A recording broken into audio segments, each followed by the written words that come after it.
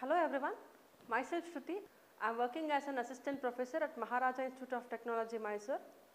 And today I am here to give you some information about the module 2 in the green building subject. As we have discussed about the module 1, now I am directly jumping towards module 2 in the green buildings that is the environmental friendly and cost effective technologies. So, in this particular module, I am just giving you some information regarding the most environmental friendly technologies and the cost effective technologies which is very much necessary in the present situation. Now, in this particular module, there are various contents that are to be studied in which the first and the foremost content which is required to be studied is about the different substitute for wall construction. As we all know the construction of buildings plays a major role in the developing country. However, what is the requirement for considering or using a different substitute for wall construction? So, as we all know with the growing construction we are going to use a lot of natural resources and along with that during the manufacturing of various materials which are required for the construction of a building it results in the liberation of large amount of carbon dioxide emissions which are causing lot of negative effects to the environment. So, in order to avoid this negative effects and to implement this environmental friendly technologies we are thinking of going towards or moving towards a different substitutes for wall construction.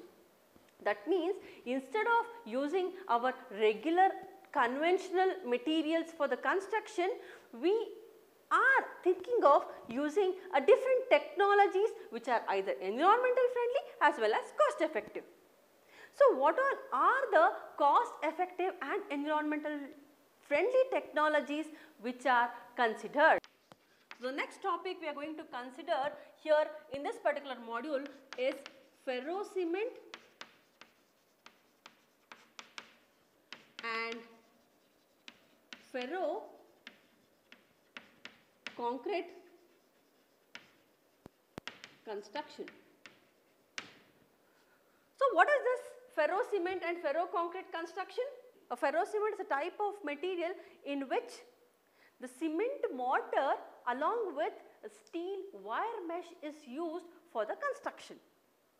So, instead of using our regular conventional mild steel or HYSD bars, we are thinking of using the wire mesh for the construction along with the mortar is nothing but a ferro cement construction. Next comes the ferro concrete construction even here but here along with the wire mesh we are thinking of using concrete as the material. That means the wire mesh, the steel wire mesh along with the cement concrete is nothing but ferro concrete construction. So, when we come to this particular topic, we will be discussing in detail about this type of construction. Next, after this, the third topic we are going to learn in this particular module is about the different precast members. So, the third topic is the precast members about different precast members.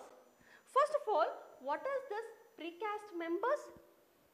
So, the precast members are those concrete members especially which are manufactured in the factories in the controlled manner to obtain or to maintain its standard dimensions and tolerance. Okay, this is what the precast members is. What all are the precast varieties? What all are the different precast members we are studying here? The major precast members we are studying here is the precast beams, the precast walls, precast columns, precast doors and windows and even precast water tanks and along with that you will be even learning about the precast septic tanks here. Okay. So, the next topic here we will be learning in this particular module is about the alternative roofing systems. So, the next topic is the alternative roofing system in which we are going to consider the alternative systems that is the filler slabs and the composite beams and the panel roofs as an alternatives for our regular conventional roofing system. Okay. The next topic here we are considering is the pre-engineering, the pre-engineered building elements.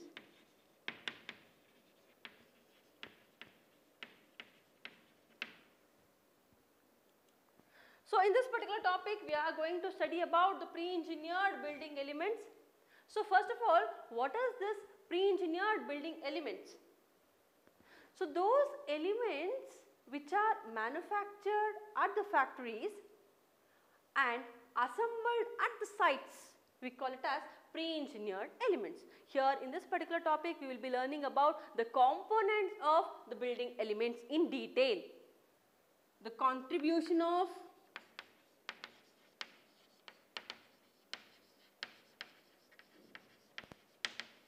agencies. It is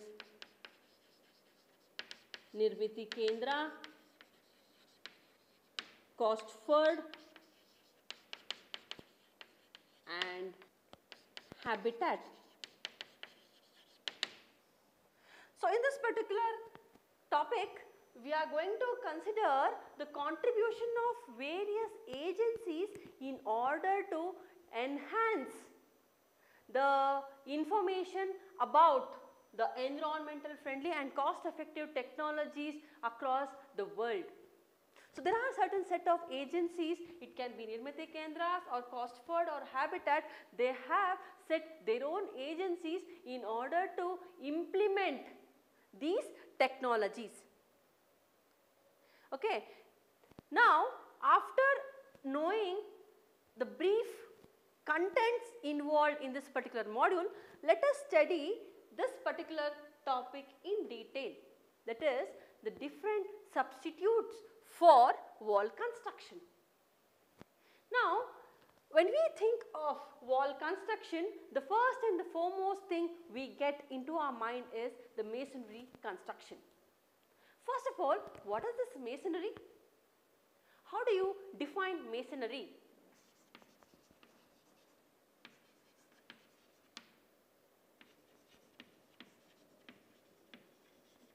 is defined as the assemblage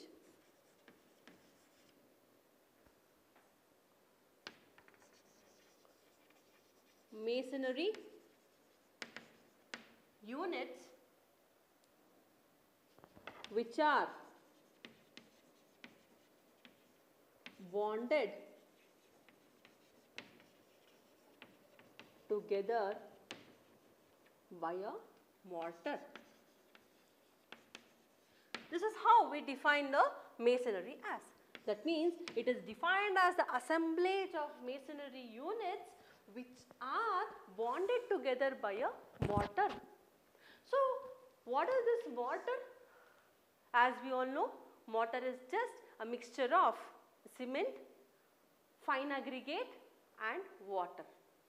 So, here the picture shows the assemblage of the masonry units along with the mortar.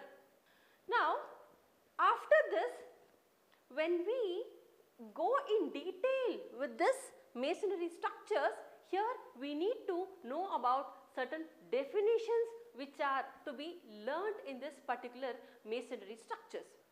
If you observe this figure, we have mentioned various terms in this particular figure. To start with, the first one which is called as perpends.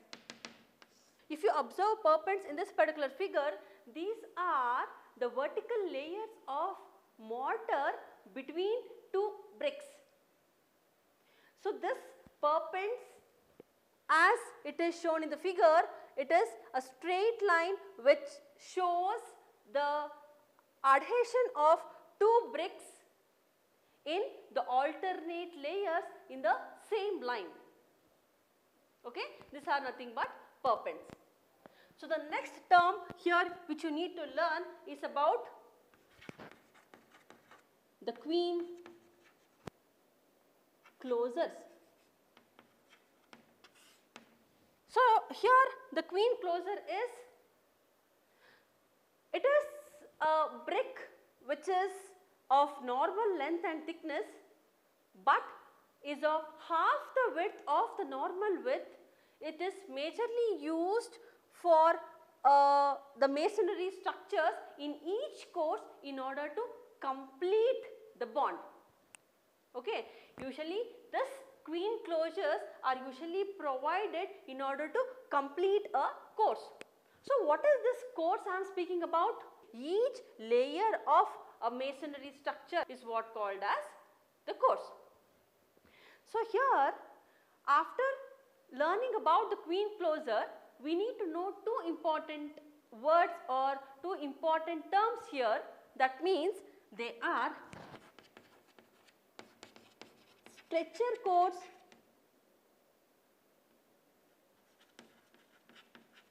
and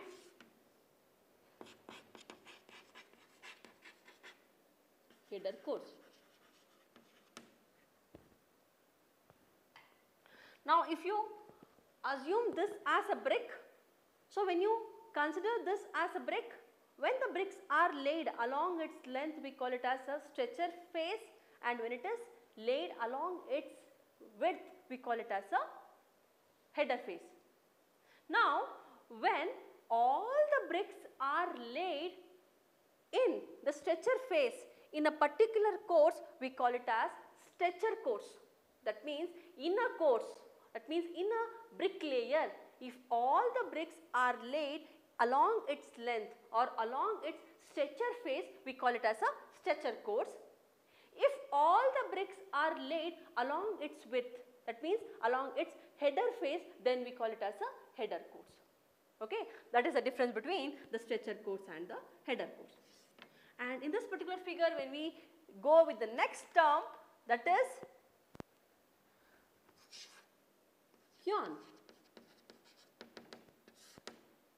So this new word quoin is also a brick but here this brick is cut lengthwise into two halves and is especially used at the corners in the brick walls.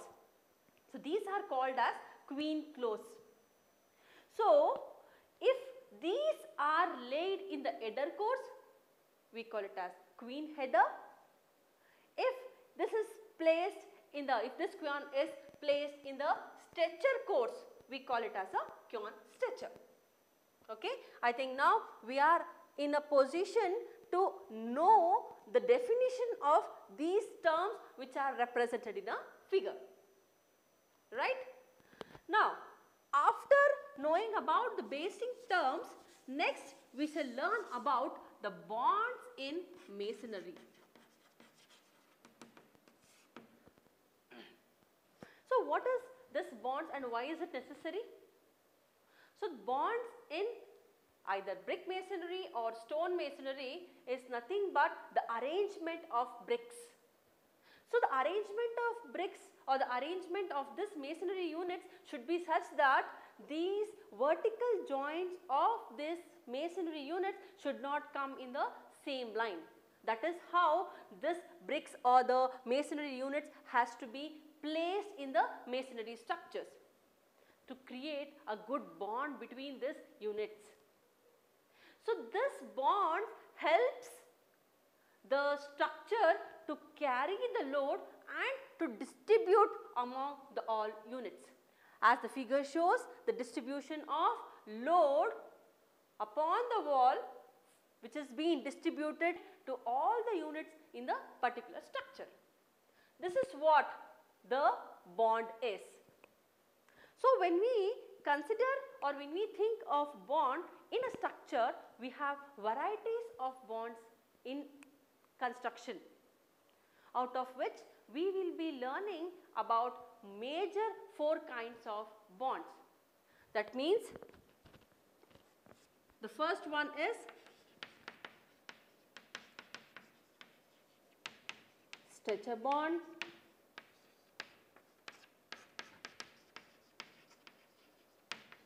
Header bond.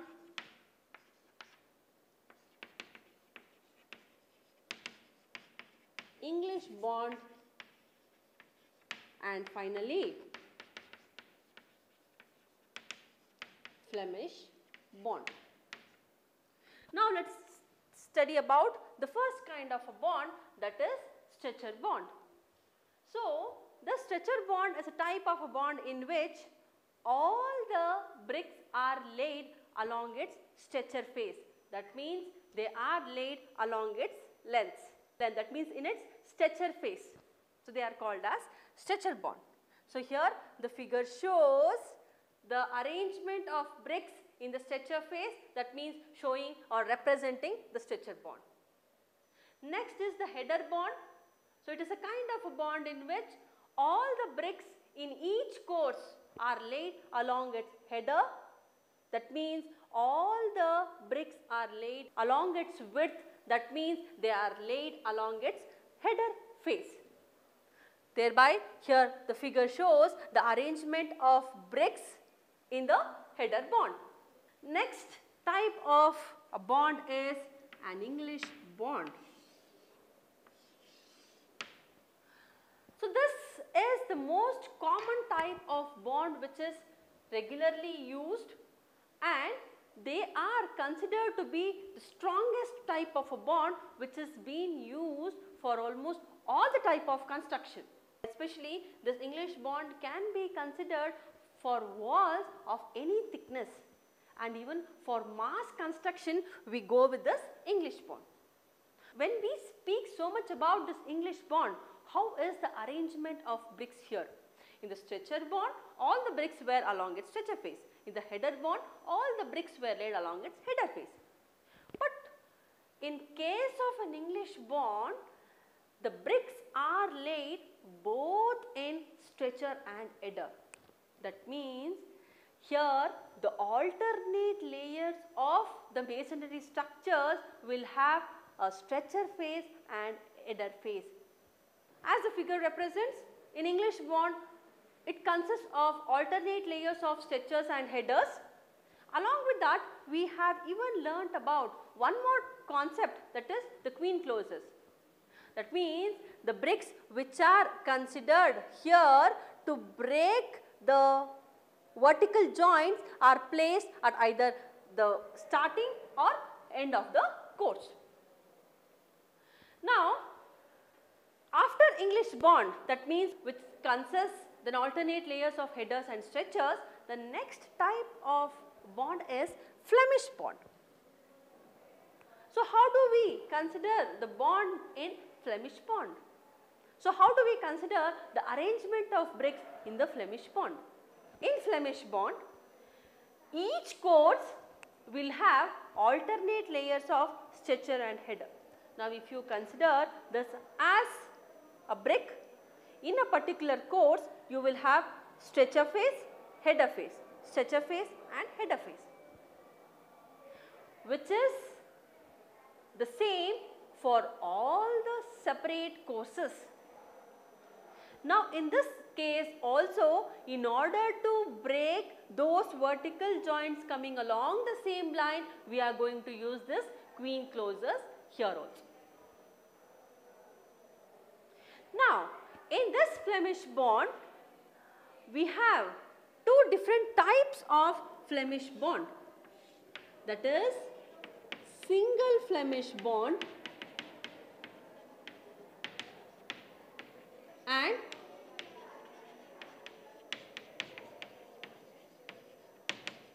double Flemish bond. So, what is the difference between this single Flemish bond and double Flemish bond? Now, when we consider the single Flemish bond, even here each course and each course consists of stretcher face, header face, stretcher face, header face. But here in case of Flemish bond, we will be learning about or we will be considering two faces that is the front face and the backing face of a structure. Now, when we consider uh, the front face, so in single Flemish bond, the front face will be the Flemish bond, but backing face will be English bond. That means when you look at the arrangement of bricks from the front, it will be as Flemish bond. When you look it from the back side, it will be representing the English bond. That means the single Flemish bond takes the appearance of the Flemish bond and strength of the English bond here. That is the difference in single Flemish bond. When you compare the same thing with the double Flemish bond, but in double Flemish bond, both the front face as well as the back face will be the Flemish bond. That means the arrangement of the bricks will be such that both front face as well as the back face will represent the Flemish bond itself. Now, in order to get this arrangement, we need to study about the arrangement of bricks in single Flemish bond and double Flemish bond separately. Now, let us see the arrangement of bricks in a single Flemish bond wherein we are going to discuss about one brick wall and one and a half brick thick wall arrangement. Now, when you look at the figure in the single Flemish bond, we have one and a half brick thick wall arrangement and two brick thick walls arrangement. In both the cases, if you observe, the first two figures at the top represents the odd cores of one and a half brick thick wall and the even cores in one and a half brick thick wall. Now, as we know about this queen closures here, now if you observe the first figure at the top that is 1, 3rd and 5th cores that is the odd cores, the queen closures are placed along its length horizontally. When you look at the same queen closure in the second, fourth and sixth course that is the even course they are placed vertically. That is depending upon the required requirement we are going to place the queen closure either vertically or horizontally. Now, in this particular figures, if you observe along with the queen closures, you are also observing one more term called as bat, BAT bat. That is the brick bat. This bat is a brick which is cut along or across its width. Resulting piece is called as a bat. So, in order to get that arrangement of the Flemish bond in the front face and the English bond in the back face, we are going to use this bat. So, if you observe in the odd cores, we have used 3 4th brick bat and in the even cores, we have used half brick bat depending upon the requirement. So, this is about the single Flemish bond for one and a half brick thick wall. The same thing if you observe the Flemish bond especially if you observe the single Flemish bond for two brick thick wall. That means the thickness of the wall is the length of the two bricks. So, if you observe here the front face of the wall is the Flemish bond and the back face is the English bond. And here depending upon the requirement we have used half brick bat along with the queen closures laid vertically and horizontally in odd cores and the even cores. So, after discussing about the single Flemish bond, next we shall discuss in detail about double Flemish bond. Now, as the figure shows the double Flemish bond and uh, we know that in the double Flemish bond both the front face as well as the back face represents or is resembling the Flemish bond itself. Thereby it gives a good appearance when compared to the single Flemish bond or the English bond. Okay. Now when you take up when you consider this figure in the double Flemish bond, now if you observe here also you will come across one and a half brick thick wall and one brick thick wall images. So in the first image if you consider, we have considered one brick thick wall in which an odd course and the even course are considered and in the odd course the queen closures are placed vertically but in the even course they are placed horizontally. And below this is the plan of the bricks arrangement for one brick thick wall. Next comes one and a half brick thick wall. Even here the arrangements are made such that both the faces are Flemish. In order to obtain that arrangement, the queen closures are placed both in the odd course as well as the even. So here we have learned about some of the bonds which we are going to regularly use in the masonry structures. After this, next we shall go for the next type of bond which is called as rat trap bond. So what is this rat trap bond? So after learning about the four different types of the regular bonds that is stretcher, header, English bond and the Flemish bond, the next type of bond which we are learning here is the rat trap bond. As the figure shows, here we have a rat trap bond in which in this particular bond the arrangement are made in such a way that the bricks are laid in its vertical position creating cavities in the walls. However, this rat trap bond was first introduced by Laurie Baker in Kerala at 1970s and this type of bond was extensively used because of its lower construction cost and reduced material usage and it is highly thermally efficient. Okay. Now, when we think of this rat trap bond, the number of bricks and mortar required is very less in the rat trap bond because as you are seeing in the figure, we have a cavities available in the middle, in the center of the wall, thereby the bricks and the mortar required in that particular hollow space is completely negligible. Thereby, it reduces the overall number of bricks and the mortar required for construction. And the next point here is this particular type of bond can be considered as a green building technology which is considered as the environmental friendly and, and cost effective technology thereby it is moving towards a sustainable construction. Now when we think about the cavities available in this particular structures, this cavities helps in providing thermal comforts in a particular structure. That means it comforts the people who are staying in a particular building. Thereby, they help in altering the environmental temperature due to this cavities available around the structure. So, these are some of the key points in the rat trap bond.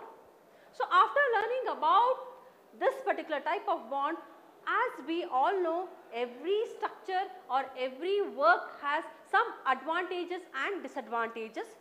Now, let us learn about some of the advantages of rat trap bond.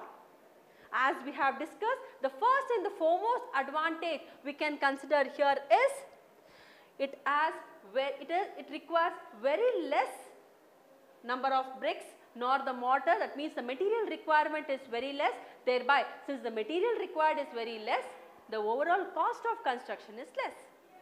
And when you compare the overall cost about 30 percent of the cost reduction can be observed in this rat trap bond. Now when you think of the thermal efficiency to up to what level we can observe thermal efficiency in this rat trap bond.